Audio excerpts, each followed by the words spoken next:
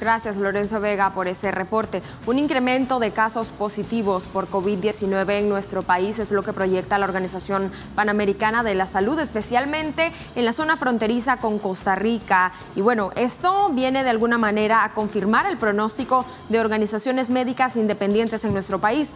A pesar que la OPS confirmó el aumento en el número de casos, el balance de datos que reportó el pasado martes el Ministerio de Salud MINSA no coincide con la afirmación de la OPS pues hasta este pasado martes se reportaron 347 nuevos casos de COVID-19, es decir, una disminución de 12 casos en comparación a la semana del 9 al 16 de junio, cuando se reportó 359 casos positivos. A la organización también le preocupa la reserva de información que mantienen las autoridades gubernamentales en Nicaragua, sobre todo eh, ante la situación de pandemia en el país y en relación al número de pruebas realizadas para detectar el virus. Eh, apoyó en el entrenamiento del personal de laboratorio eh, del Centro Nacional de Diagnóstico de Referencia de, Nicaragua. Eh, sin embargo, no ha recibido información sobre el número de pruebas realizadas y procesadas por el Laboratorio Nacional. me refiero a la confirmación de casos de COVID-19.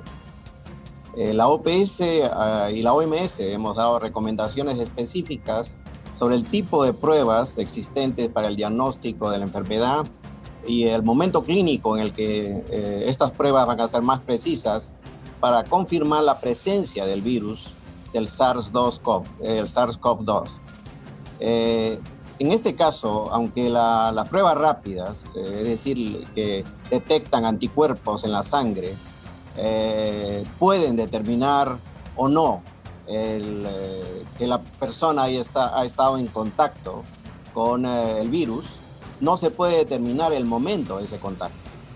Además, no hay suficiente evidencia para identificar que los anticuerpos presentes en la sangre puedan ser protectores o durante cuánto tiempo puedan ser protectores.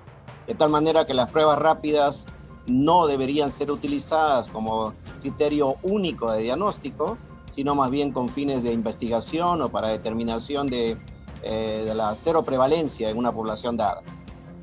Eh, hay un incremento importante de casos en el lado eh, costarricense de la frontera con Nicaragua. y lo que se esperaría es que haya un incremento de casos al interior de Nicaragua. De tal manera que estamos esperando que esa información pueda ser compartida por, por Nicaragua considerando la zona geográfica donde, donde ellos reportan los casos. Eh, en este momento no hemos recibido ese detalle.